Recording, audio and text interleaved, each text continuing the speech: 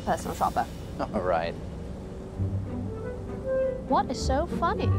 Oh, uh, no, I just, uh, never really met one before. I'm not surprised.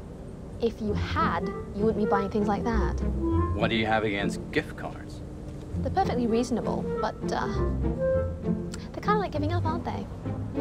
Uh, no, that's not exactly how I see it. In my business, I don't give up until I find the perfect gift. Well, with all respect to your talent, I'm not sure there is such a thing as a perfect gift. And if there is, I don't have time to find it. So, you know, for now, I'm going to take my chances with the gift card.